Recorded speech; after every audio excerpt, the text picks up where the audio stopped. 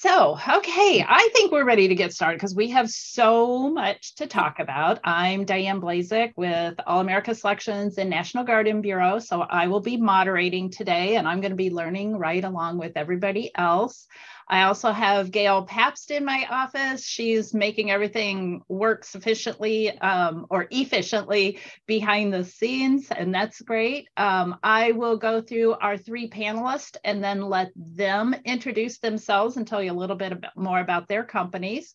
So let's start with, I'm looking at my screen, and on my screen, um, Laura Robles is at the top, Laura with Walter Gardens.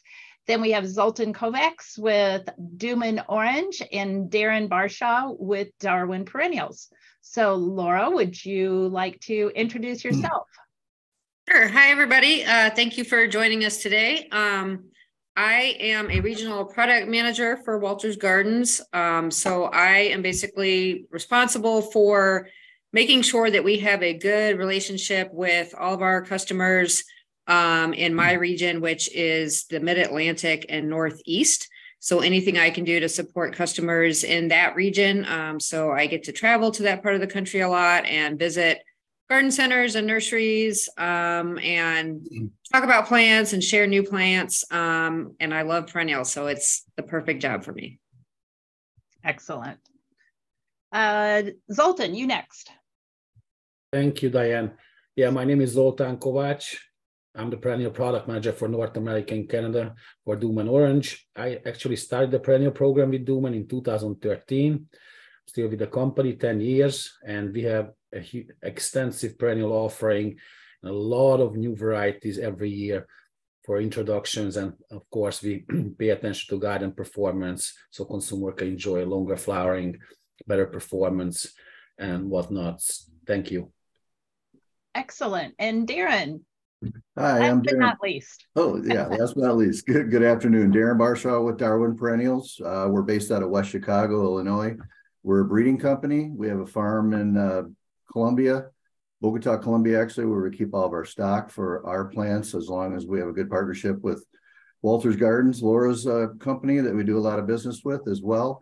So we do a lot of breeding around the world, and we, we do similar to what to what Laura does. I'm a product rep, so I travel around the country uh, with sales reps and customers, making sure they're they're using the, the the right perennials, the right perennial input, the timing is correct, anything they need, culture, all those good things. And I love perennials. I've been in the business for 40 years. Hate to say that, but it's been a long time. Um, I don't feel like it. Anyhow, looking forward to having some fun today. Thank you. Excellent. We will have some fun. And speaking of fun and travel, um, I know Gail and I are going to be traveling out to California to the California Spring Trials, where we will see some of these even newer products. So, the ones that we are going to be talking about today, as I roll into that, are the new varieties that your companies introduced like a year ago. Um, so you were introducing them to the commercial markets, which now they are available to consumers. So that's how I thought we would start today's presentation with some pretty pictures, which is always inspiring, um, makes me want to get outside and dig in the dirt. So this time, Darren, we are going to. Um, wow, your name almost matches your company name. Um, Darwin from Darren from Darwin. I, from Darwin would, yeah. That would be a tongue twister. Yeah. Um, so we're going to let you start, and as you go through these, um, you know, just talk about some of the new features for each one of these new varieties, and then after you finish, we'll go on to Dummen and then to Walters. Okay, sounds good. Well, thank you. Yeah, we introduced the uh, Buddleia Chrysalis series. There's actually five colors. You got blue, pink, white, purple, and the blue and uh, cranberry. So we're highlighting the blue there. What we like about this introduction, and um, this is going into its second year, so you should be able to find this easily at, at your local garden centers. It's a pollinator magnet, of course. It's a butterfly butterfly bush, so it's a dwarf. It's in that 20 to 28 inch range, vase shaped very free flowering, smaller flowers, but many of them, and they cover themselves up. I like to say they cover their dead. So it's a very clean looking plant as it continues to flower all summer. Very disease resistant, especially downy mildew, which can be an issue on Buddleias. Um, really carefree. It's zone five root hardy, so it's it's hardier than most other Buddleias on the market, which is really important. So this can be almost the front of the border to a mid border plant. And it also works in containers and will flower all season long in a container. And we do have a few customers that have trialed it in a hanging basket for a new concept as well. So a big 12 inch hanging basket on your deck would be fantastic with this Buddleia chrysalis series. More colors to come down the pipeline, but right now we have the five. Excellent. Next up. Okay, Delphinium Red Lark. We introduced this last year, so this is was a big hit. This picture here, I believe, was at Cast last year because we put together a big uh, combination into a barrel. But this red, um, well, I want to say it's a, a kind of an orangey red, not really a Coke can red.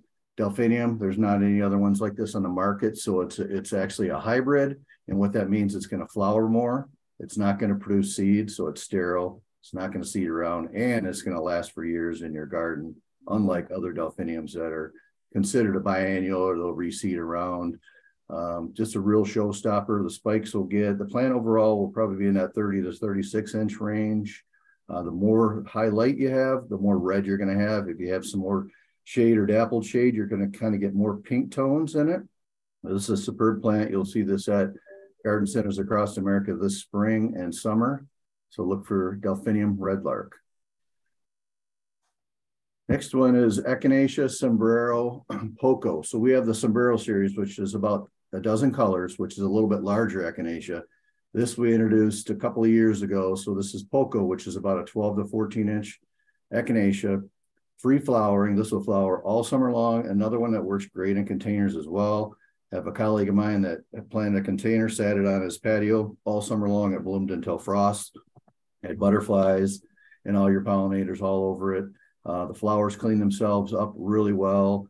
There's five colors. So you got a yellow, a hot coral, a red, a white, and a rose. And those work really good as a mixture. If somebody wanted to do a combination pot of these, they, they time out really well. So if you're doing a mix for maybe your fall season instead of mums. This is a great alternative.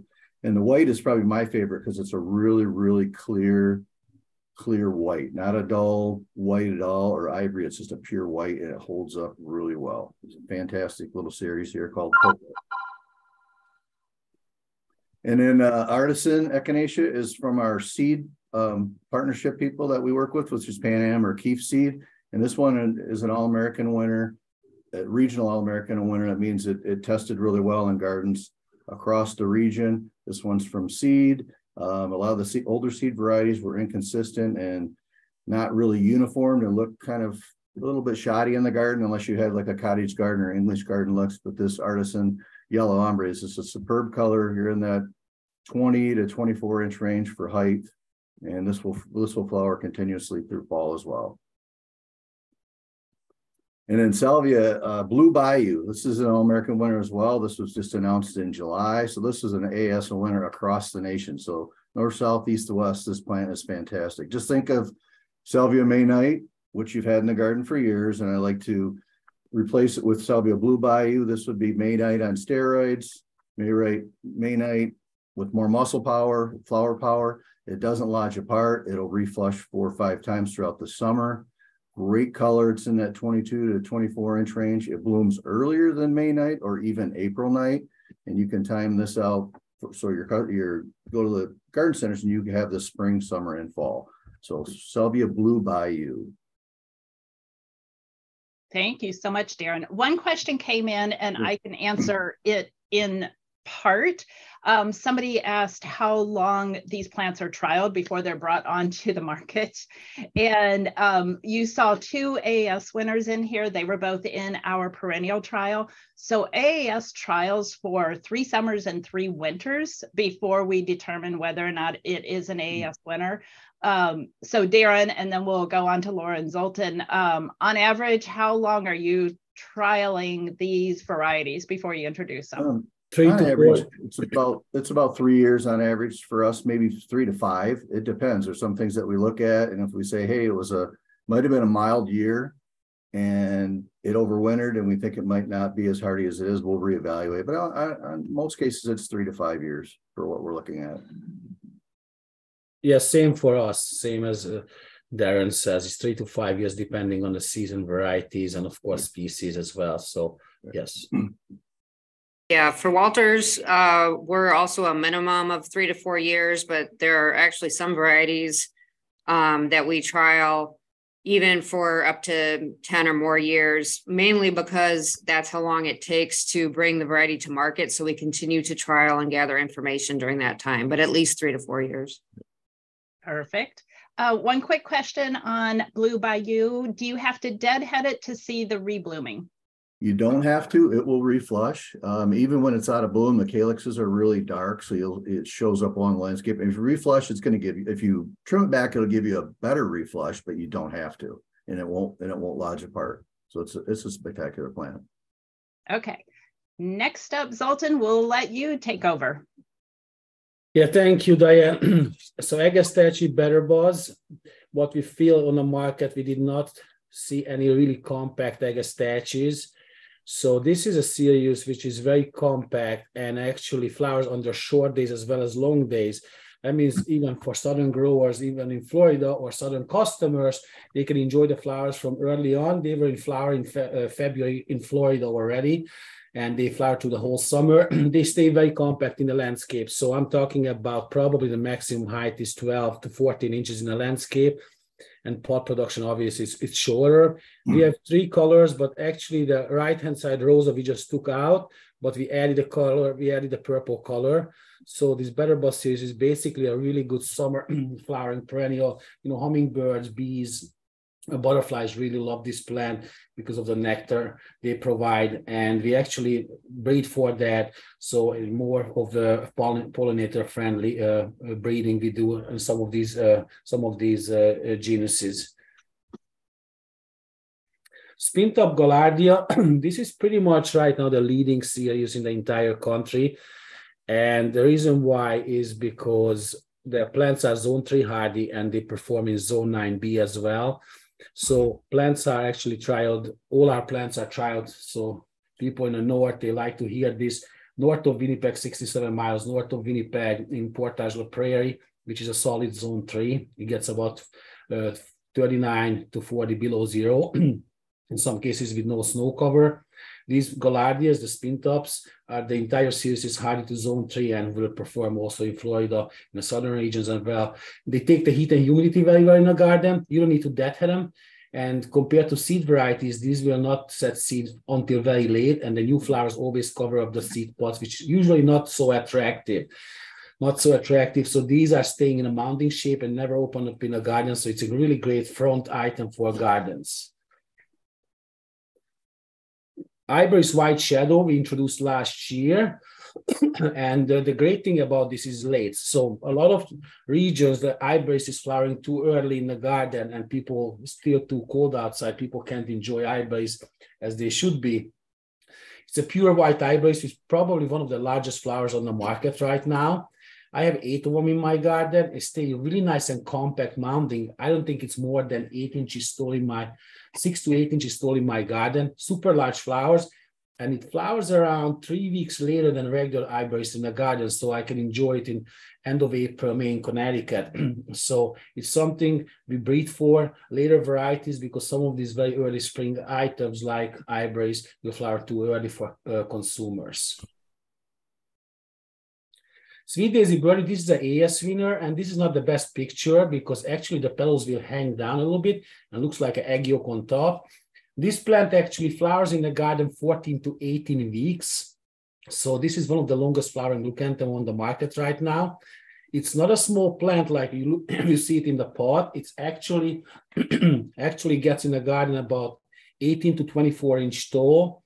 And as I mentioned, flowers 14 to 18 weeks and it's a beautiful display. It's sort of like a shorter Becky with a lot more interesting flowers and phenomenal landscape performance. Also zone three hardy and will flower even in the southern regions because it's a first year flowering perennial. So it doesn't really need cold treatment to flower some other leucanthemums.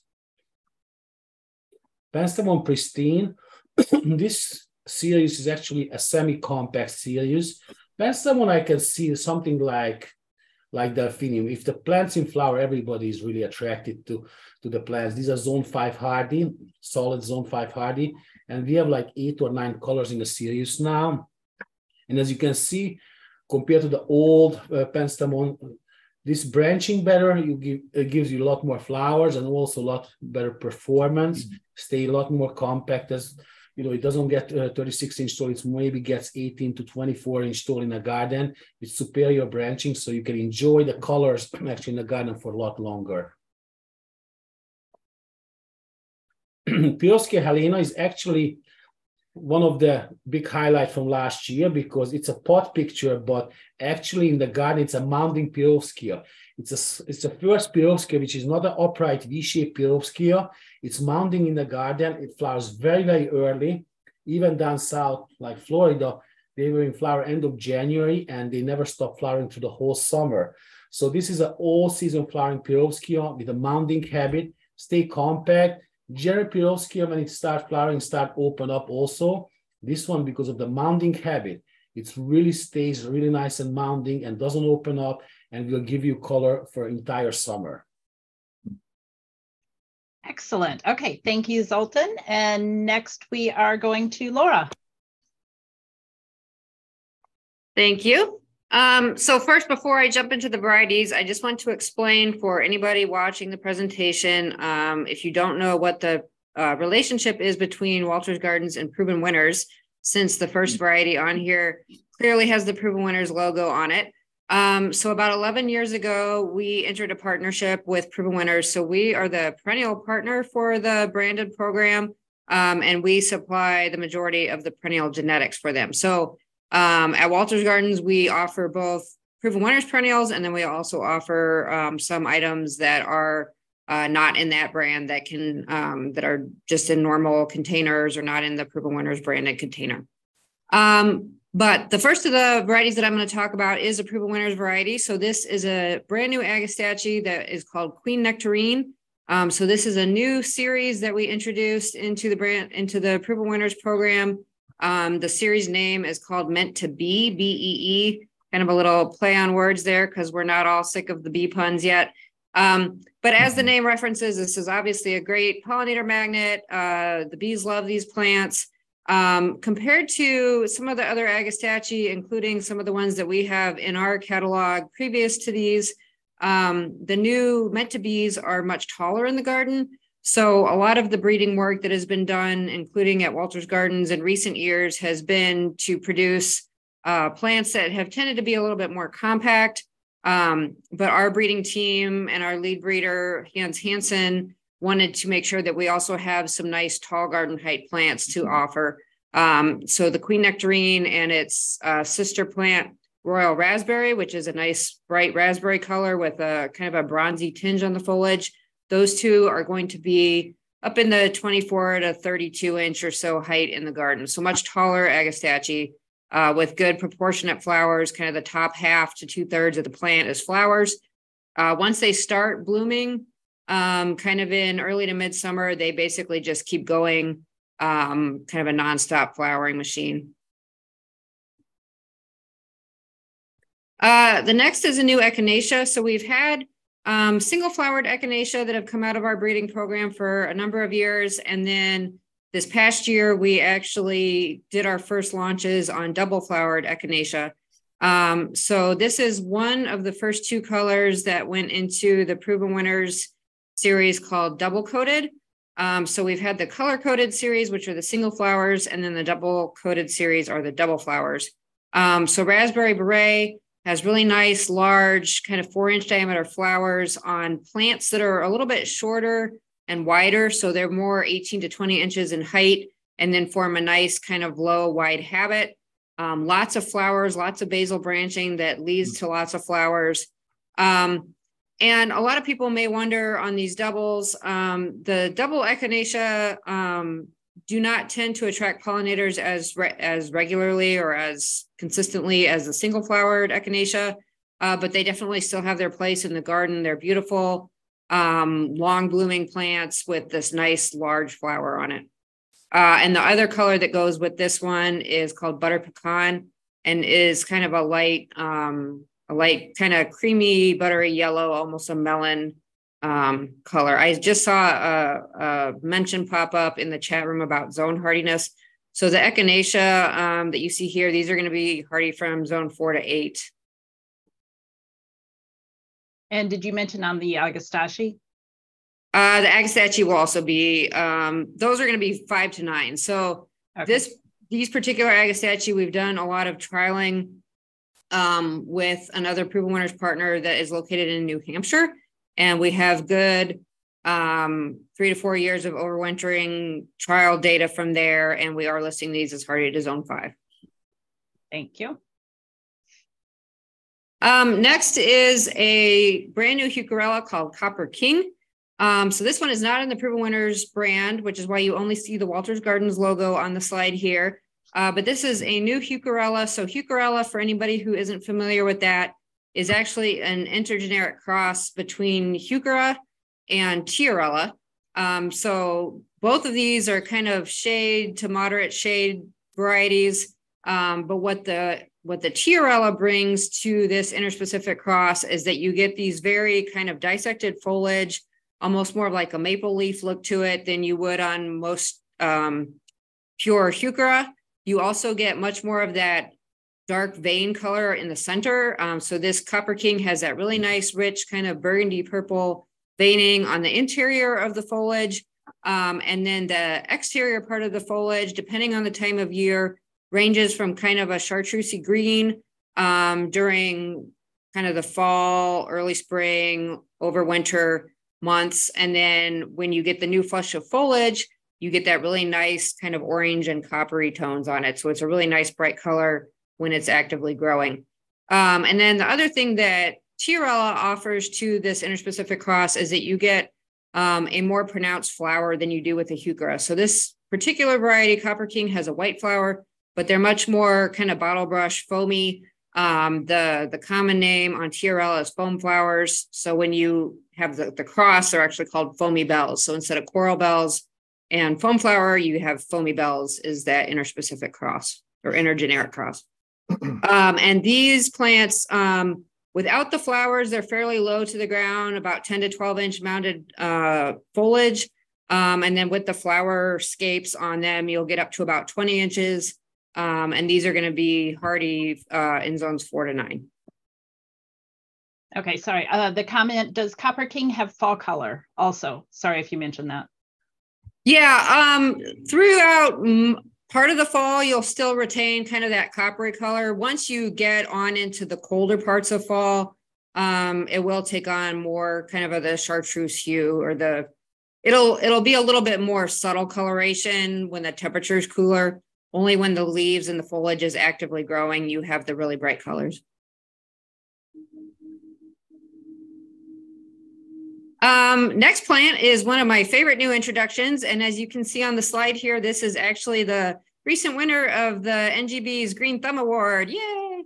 Um, but this is, like I said, one of my favorite new introductions. I have a bunch of these in my yard and I absolutely love them. It's such a unique astilbe um, with the really dark foliage. A lot of people actually think at first glance that this is a heuchera, uh, but it is truly an astilbe. Um, so when the new foliage first emerges, it is kind of a chartreuse color with a little rim of that nice dark purple black along the edges. And then as the as the new leaves expand and mature, they become this fully overall. I really like black, that. Very pretty. I really um, like of, that. Kind of glossy foliage. Um, and then you, as you can see in the picture here, it does get a purple chinensis type flower spike. So the only other dark foliage um, astilbe that I'm aware of that's been on the market is one called Chocolate Shogun that has a white flower. Um, so this has a different look with the purple flower. It's also a very nice, vigorous plant. So sometimes you get a plant where you think it looks really pretty, but then it just doesn't grow and perform well in the garden. Uh, but this dark side of the moon is definitely a performer. Um, in more northern regions in the garden, I would make sure that it gets more sun so it can definitely even take full sun as long as you're providing good moisture. Like with any other astilbe, you don't want to let them get too dry because if you do, the foliage will get crispy and it won't recover that year, no matter really what you do until it regrows the next year. Uh, so make sure you supply adequate moisture. Um, in further southern regions, um, it would probably benefit from a little bit more shade cover, but where I am here in Michigan and in other parts of the, the north of the country, um, definitely give it full sun and it'll it'll reward you. Uh, beautiful plant. So this one is going to be hardy in zones four to nine. Um, height of the foliage itself will get up to about 20 inches. And then when it is flowering, uh, those flowers will get on up to about three feet tall, even probably 30 to 36 inches tall. Um, it's not going to be quite as floriferous as some of the other astilbe that aren't the dark foliage, uh, but it still does get a good number of flowers. And then throughout the whole season, even when not in flower, uh, just beautiful foliage. Um, and then we have a new hibiscus. This is in the Summerific series. Uh, this one's called Valentine's Crush. Um, so within the Summerific series, we have a couple to uh, different habits, and the crush part of the name indicates that it is a more kind of columnar habit, so a little bit taller and narrower habit compared to um, the rest of the series that don't have the crush in the name that are more mounded. So Valentine's Crush is a new one. It actually is replacing Cranberry Crush. So if any of you have those in your garden, um, this one is kind of the new upgraded version. And it's basically a little bit more columnar in habit than that. So it fits better in the Crush um, subseries. It is a brighter red flower, so a really nice bright flower, and then that darker eye stands out more against that bright red coloration. It's also a much flatter flower, so Cranberry Crush, um, you would get sometimes a little bit of a cupped forward angle to the petals, um, but with hibiscus, we want to have a really nice, large, flat flower with nice overlapping petals, and so this one just has more of that flat presentation. Um, and then, like with all of our summerific hibiscus breeding, um, just really nice habit, dense foliage, very high bud count, um, and flowers basically from top to bottom of the of the plant that kind of opens successively, so you get a nice long bloom time.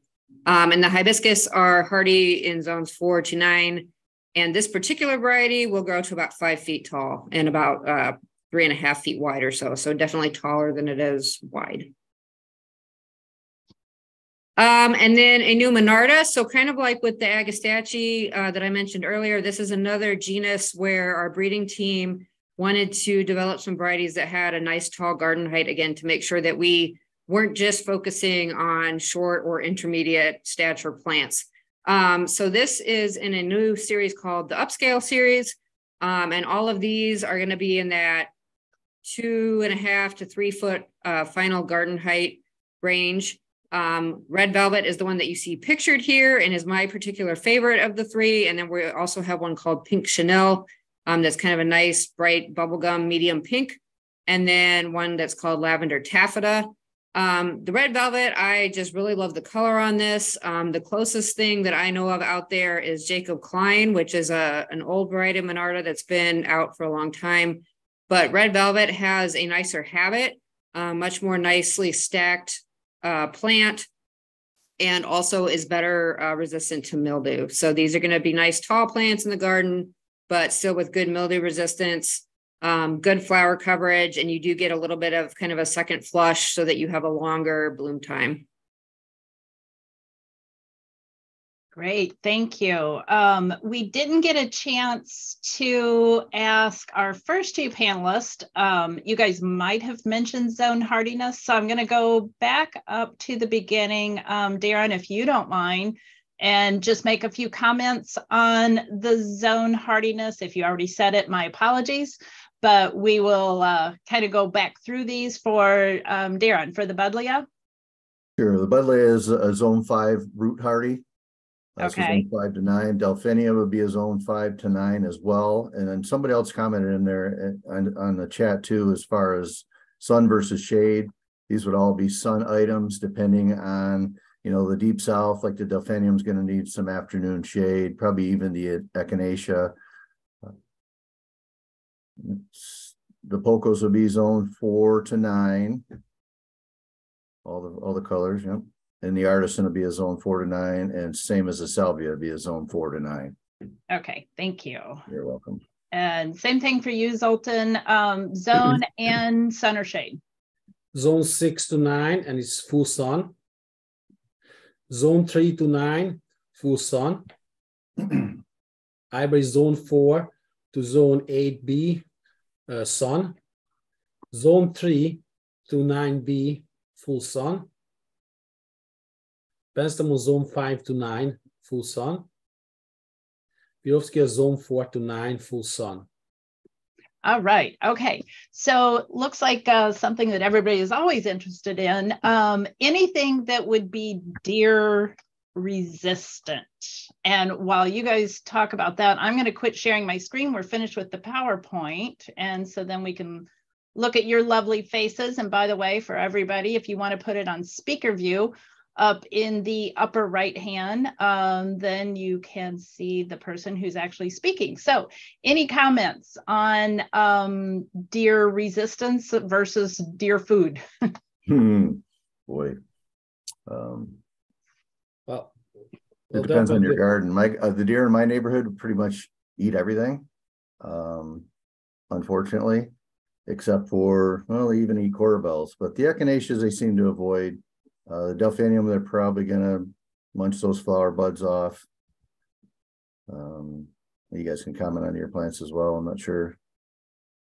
Yeah, I would say of the ones I covered, um, probably the Monarda and the Agastache would be the least likely to be bothered by deer. Um, typically perennials that have more of a scented Mm. foliage, whether it's kind of the minty family ones or like an allium, the ornamental onions, those tend to not be bothered as much. Um, hibiscus, I don't usually see deer eating them, but I wouldn't say that they're 100% deer proof. I wouldn't call anything 100% deer proof, especially depending on where you live. But Exactly.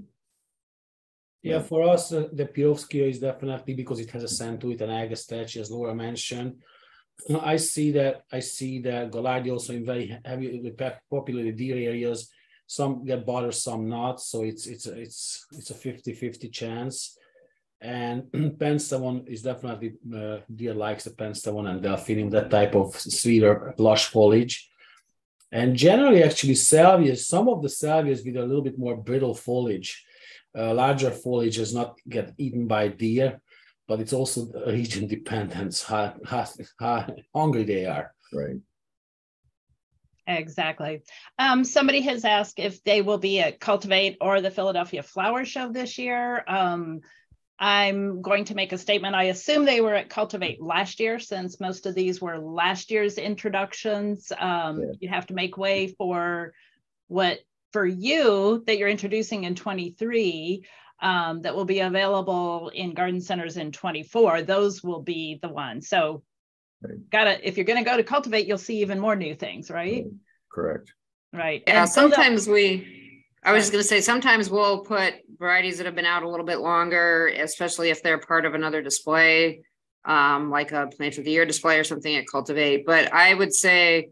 The best places to see these would be if there's like local garden shows happening. A lot of times we'll have um folks that we partner with to put our plants in those. So like locally here in Michigan, there's the Michigan Home and Garden Show coming up, and we do those at various places throughout the country. I think some of these would be at the Philadelphia Flower Show as well.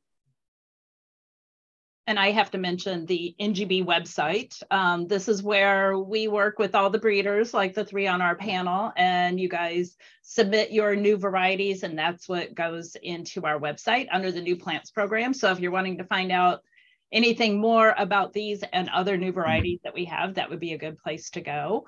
Um, another question that we had here is, are these new varieties cultivars and hybrids? Um, so I'm assuming the answer there is yes. So they're cultivated varieties of native plants that have been out there, and this is how you're doing your breeding work, correct? Correct. Correct. Okay. And now one of the questions was about producing more nectar. And I think the best way to address that is I'm not, I've never seen anybody out in the fields, but maybe I just haven't seen it, you know, as far as actually measuring nectar. But I think one of the key components is the number of flowers and the bloom time. Um, so I think I heard pretty much every single one of you when it was a flowering plant say, hey, this has more flowers, it's better branching, it's basal branching. So the more branches, the more flowers. So that really is the way that we are talking to the pollinators and saying, hey, we have more um, flowers for you. So anybody want to comment on that? Yeah, more, I think more flowers and uh more longer lasting flowers, so then you have potentially have more pollen, more nectar in these newer varieties as well.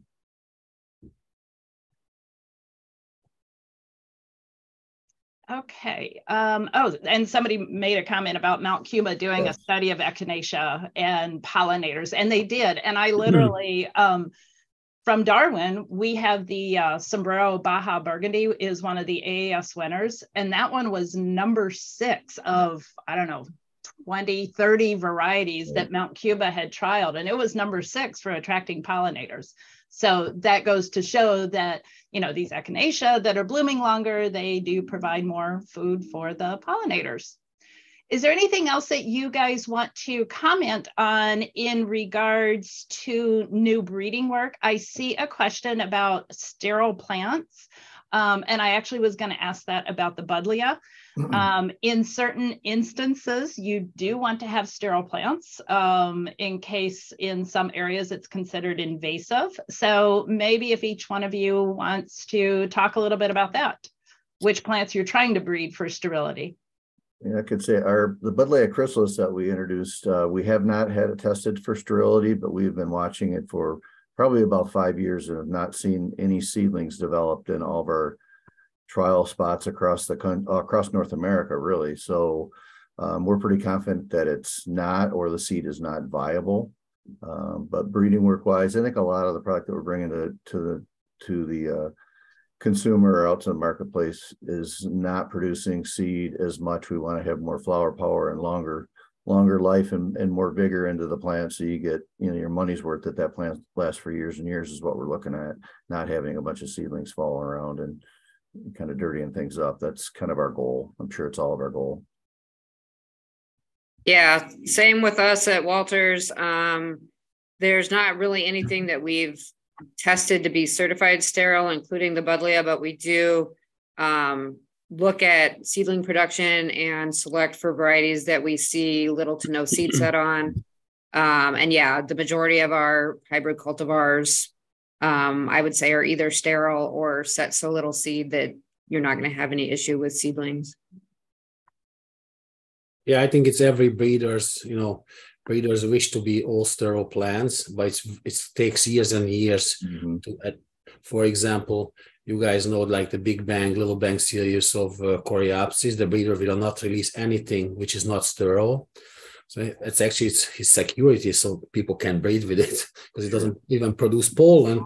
But yeah, we, we try to do the same thing at Dummen Orange you know, plants tend to have seedlings all around. We, we, discard those selections, and either it's not sterile, you can't say it until really it's proven. But if the seeds are not viable, as Darren said, then then it's close to the sterile as possible. Okay, well, let's talk about in the garden. Um, it's almost spring kind of spring in some areas. I think Zoltan, you're down in Florida, so it's already summer temperatures. um, but let's talk about spring emergence with perennials. Um, which ones are hard to identify? Which ones are easy to identify? Is there, do you really need to identify them? Should you be out there babying them? Should you just let them go?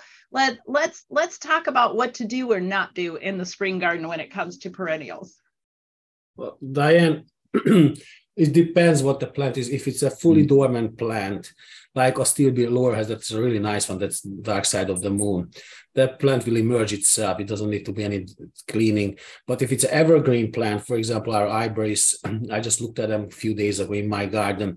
They actually stayed really nice evergreen. You're not gonna have too much. Sometimes you can clean them up a little bit, like sometimes old branching and all that stuff to clip them up quick. But is not much to do with these plants actually, because dormant plants will emerge and and generally evergreen plants stay pretty clean and they will also flush out. So I mean, a good garden cleaning is always a, a must, nice raking and mulching and whatnot, but I don't see a whole lot of maintenance. I agree. I always walk the gardens. Right now, I'm in Michigan, so I got hellebore. Early hellebores are blooming. They're blooming through the snow. So I took some pretty cool pictures of that too. But we had snow and ice, as Laura hmm. knows. It's been pretty nasty here, but the sun's shining today. Um, but like Zoltan said, I usually walk the gardens. There's a few things that'll emerge early, like you know, uh, Mertensia, Virginia bluebell, some of those things. I just make sure that the it, usually you see them start emerging. They're pushing if there's any leaves or anything, or they're they're pushing them up. I maybe clean that away a little bit and then let them go. And if you know, like Zoltan said, something evergreen, as it starts emerging, you see some dead branching, clean it up. Otherwise, they're they're pretty pretty low maintenance. Yep, I would agree with what both of them said. Um, only things I would add to that, I do the same thing. I walk my garden pretty consistently once we even have a chance of seeing anything start to emerge, just because it's part of the ritual of spring to see mm-hmm. what's coming up out there and what's bigger and what's did well and what didn't. Uh, for me, even though I live in an area that has a lot of rabbit population, I'm a hosta collector. And so as soon as I see my hostas coming up, I start spraying them with rabbit repellent because we all know that hostas are food for deer and rabbits, but I choose to still fight that battle because I mm-hmm. like the hostas. So um, that's one thing that I'll do. Um, another thing to keep in mind is that there are some perennials that come up pretty late. Um, and we have some examples of those at Walters. So hibiscus is one of those. Um, Asclepia, the butterfly weed, is one of those. Um, we do some breeding work with um, zone 5B or 6 hardy uh, Lagerstroemia, which is a crepe myrtle, kind of a dwarf version for the north. Um, those are not, another one that come up late. but Buddleia, there's there's various ones, and I think the main thing with those is to make sure that you um, know where you've planted them so that you don't forget and think that they're not coming up because a lot of times it's it's really quite late in the season before some of those come up um, i personally like to leave stems up on stuff like hibiscus um, it's also something that takes a while to go down in the winter uh, to where the stems fully go from green to brown and you know that all that energy has gone down into the crown and the roots of the plant um, so if you leave the stems up a you get more of that energy down uh, B, you know where the plant is in the spring. Um, and it just also provides you with some winter interest. So that's another thing to just kind of keep in mind is anything that's coming up late. Yeah, actually, oh, go ahead. Sorry, Laura, I wanted to say I always leave the hibiscus sticks up because it looks really cool with the ice and the snow. And you know where they are coming up. And also ornamental grasses, maybe that's something, if it's not evergreen ornamental grass, Generally, I don't cut it until the spring, and it looks really nice with the snow on it. And of course, when the spring comes, then the you know the brown grass you can cut them all the way down pretty much, and then restart the whole process. Be patient is my my word of wisdom. Don't yep. give up. Yeah, exactly. That's what I was thinking too. Is is to be patient. Don't don't jump to conclusions that something hasn't survived because all of a sudden it'll it'll pop up but uh, I, I, it makes me think of the importance of your plant tags and putting a plant tag in the ground or keeping a good journal and mapping out your mm-hmm. garden and keeping track of what you planted where um, just you might think you have a, a blank spot but all of a sudden here's this hibiscus and you will be well actually diane i have to comment one more thing for example, Gaillardia spin tops in a warmer region than ever, they are evergreen. But when you look at zone three, for example, when we do the zone three hardness, we also do for three years, they go completely dormant. So there's nothing like that plants, and they suddenly they just push out and they're really beautiful and get bigger and bigger every year. So you have to be careful because some of the semi-evergreen perennials in the colder regions, I'm talking about zone four, five, uh, sometimes five, eight, four, three they will go completely dormant, but the plants are still alive.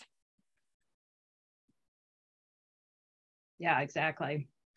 Uh, let's see here. I think you touched on spring cleaning. Um, what I was hearing, and you can correct me if I'm wrong, is don't really need to do a lot. Maybe want to pull away some of the mulch or, or dead leaves from some of them. But is there any other thoughts on spring cleaning of your perennial bed?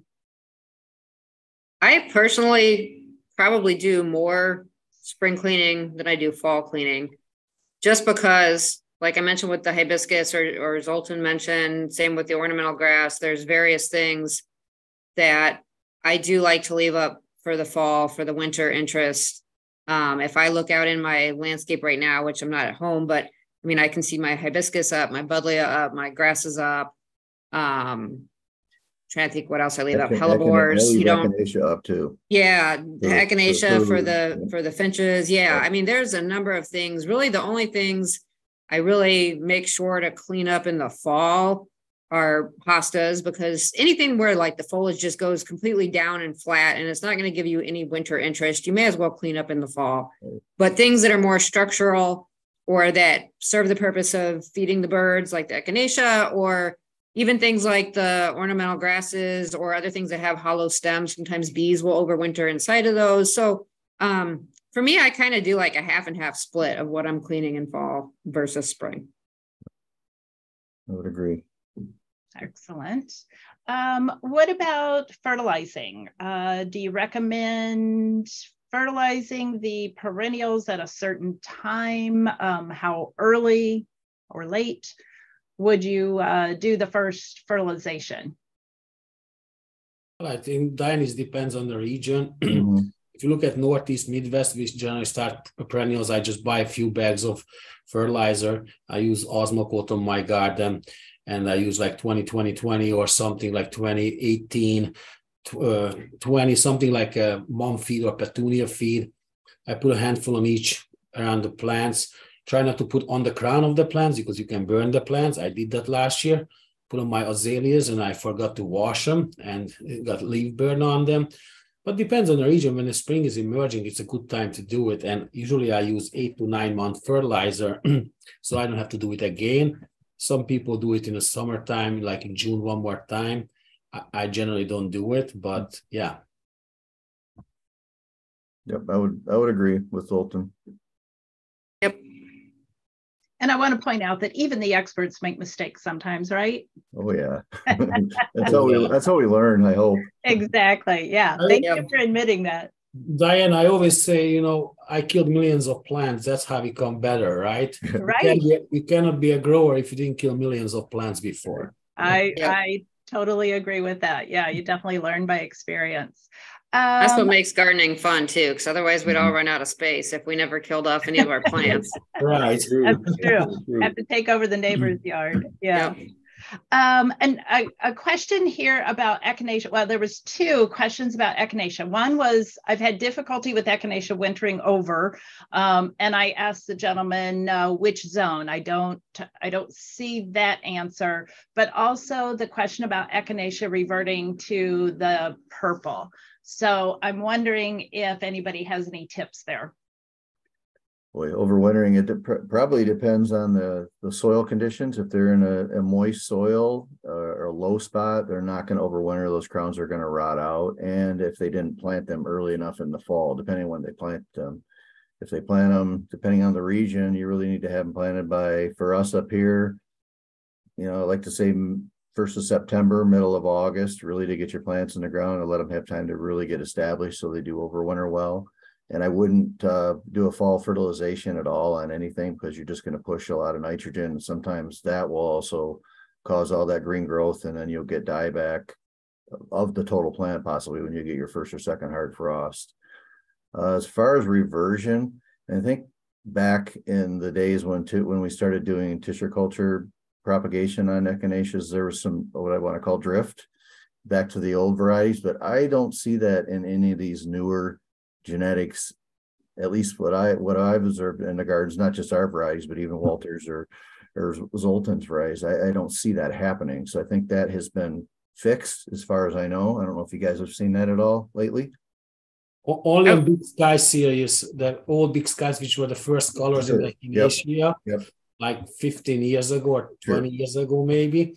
That's the only reason I get uh, customers and for instance, hey, this river is back to pink or purple yeah. or something. But the new generation of what you guys are doing echinaceas is like uh, Walters and Darwin, they're phenomenal plants. You can't do any better echinaceas. Right.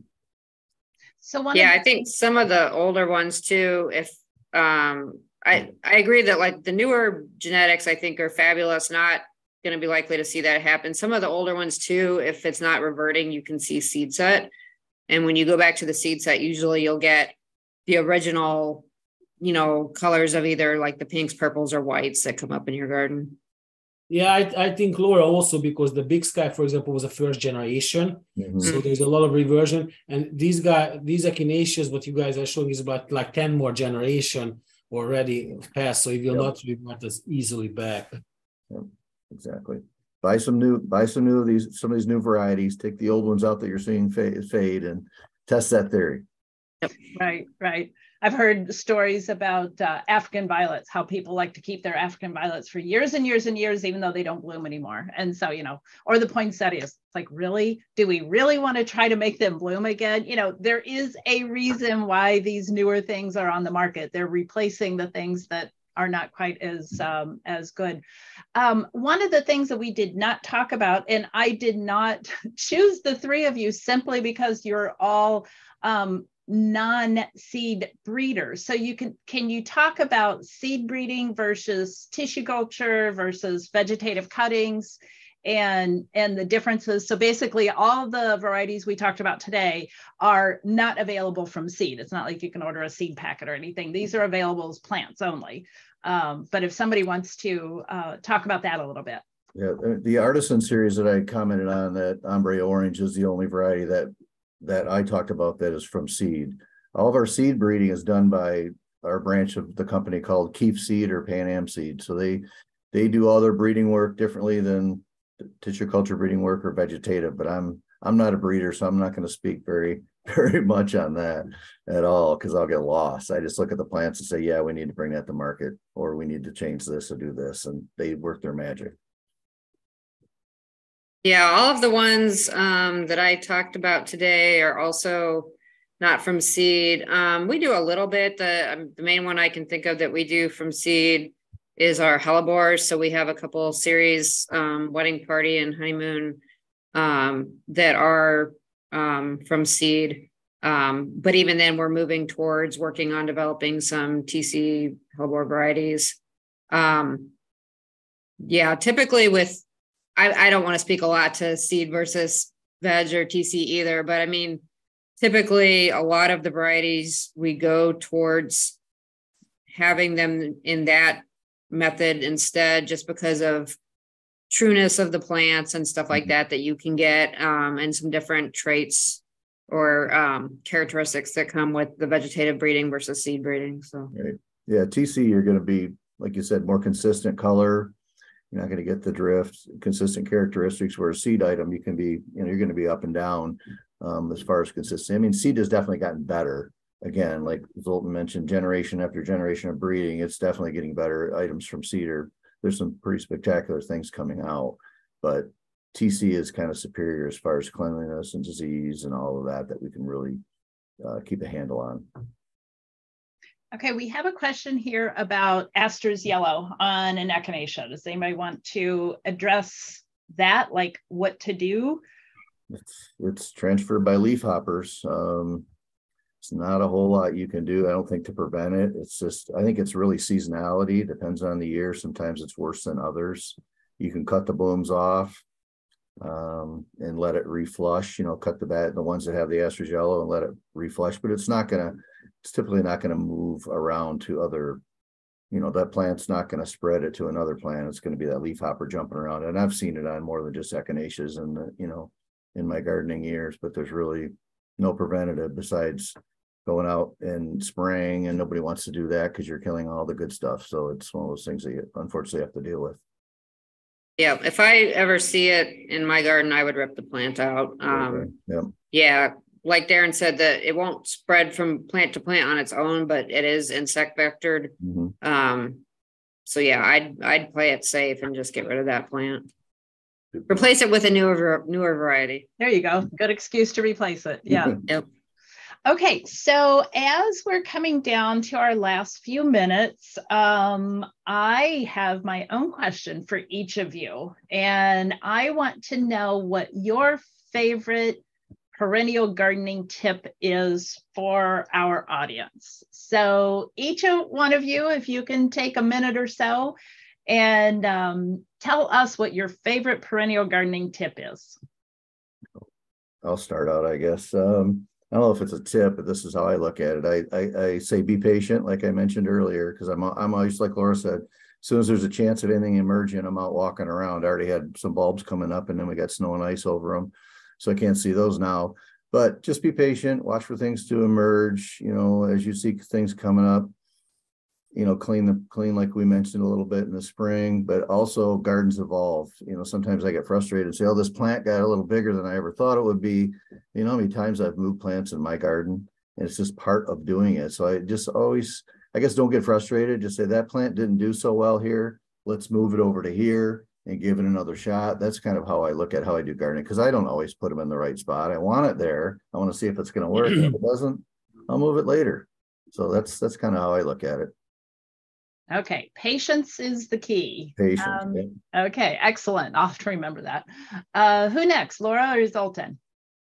I'll go. Um, I think my um, favorite tip or tips would be one to to keep experimenting with new things and different varieties and and don't be scared of something just because it's maybe something you've never tried or maybe don't know or haven't heard of um, there's some really cool perennials out there that maybe aren't all that well known, but that doesn't mean that you shouldn't try it or fear it or think that you won't be successful. And maybe you won't be successful the first four times you plant it. And then the fifth time you try it, it'll be magical.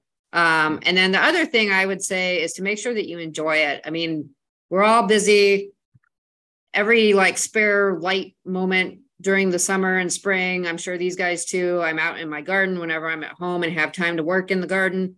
But then I also try to take time, like on a Sunday morning, I'll get up and I'll sit and have coffee on the deck and just enjoy it and enjoy the the flowers and enjoy the birds flying around the garden and you know everything that comes with a garden. So make sure you take time to actually just be out there and and have fun with it too.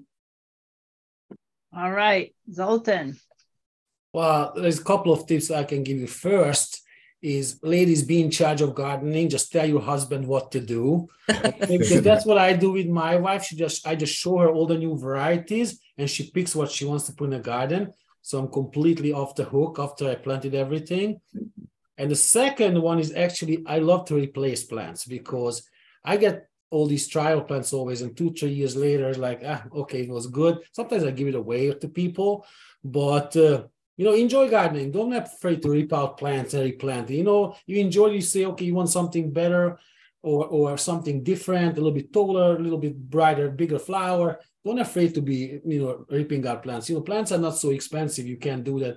I'm pretty sure, you know, six, seven dollars you can buy a plant or ten dollars. You replace four, five, six, ten plants a year. You know, it's not gonna break the bank. And yeah, that's that's what I would advise. All right. I just captured all your tips in the chat. So, uh, and we'll be using them for social media as well. So I think we will wrap up for the day. I know we all have things to do at the hour. So this has been wonderful, um, very inspirational to see all those new varieties and love all your tips and advice. So thank you to our panelists. Um, get out there and garden, go uh, go tend to your perennials and buy the ones that you need to replace. And with that, we will say so long and have a great week. Thank you.